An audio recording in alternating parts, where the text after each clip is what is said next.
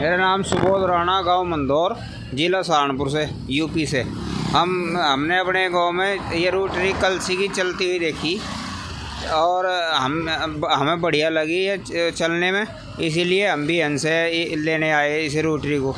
और कल कलसी की रोटरी सबसे अच्छी बताई गई। सहारनपुर से के अलावा हम यहाँ से ही लेने आए इंद्री से। और लाला जी नथुराम नथु दा, अ, दास के यहाँ से ठीक है जी।